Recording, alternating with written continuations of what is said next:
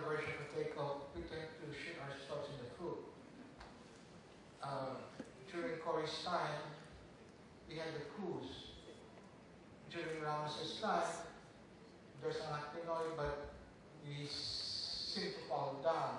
During Gloria's time, she started off uh, fine and ended up worse. Now,